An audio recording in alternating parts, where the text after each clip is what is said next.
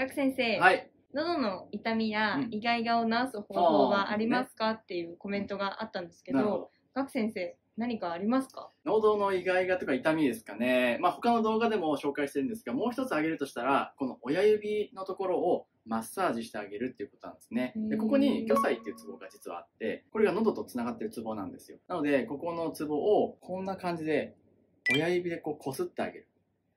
で、反対も同様。こうやって擦ってあげる。こんな風に10秒ぐらい擦っていただくと、喉の痛みがスーッと取れてくることが結構多いので、なかなか喉の痛みが取れないよとか、風邪ひくとすぐ喉に来ちゃうんだよねっていう方は、ぜひこれやっていただけると痛みが取れてきます。イガイガも取れてきますので、ぜひお試しください。はいありがとうございますはい、ありがとうございます。